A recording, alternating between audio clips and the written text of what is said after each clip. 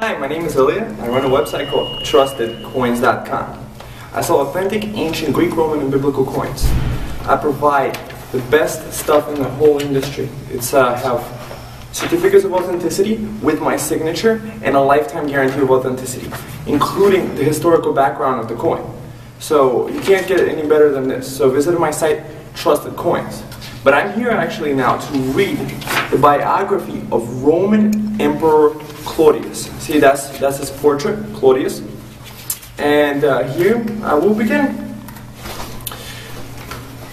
Claudius, Latin, Tiberius Claudius Caesar Augustus, Germanicus, 1st August 10 BC to 13th October AD 54, was Roman emperor from 41 to 54, a member of the Julio-Claudian dynasty.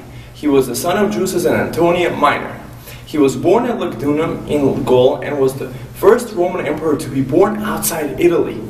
Because he was afflicted with a limp and slight deafness due to sickness at young age, his family ostracized him and excluded him from public office until his consulship, shared with his nephew Caligula in 37 AD.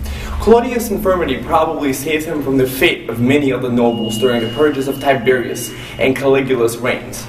Potential enemies did not see him as a serious threat. His survival led to him being declared emperor by the Praetorian Guard after Caligula's assassination, at which point he was the last adult male of his family.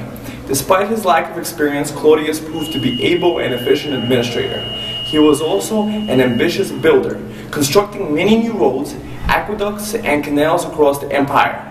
During his reign, the empire conquered Thrace, Noricum, Pamphylia, Lycia, and Judea, and began the conquest of Britain. Having a personal interest in law, he presided at public trials and issued up to 20 edicts a day.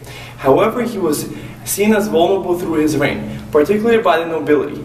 Claudius was constantly forced to shore up his oppositions. Uh, this resulted in deaths of many senators. These events damaged his reputation among the ancient writers, though more recent historians have revised this opinion. After his death in 54, his grandnephew and adopted son Nero succeeded him as emperor. So thank you very much for visiting my site trustedcoins.com to buy authentic ancient coins of Emperor Claudius.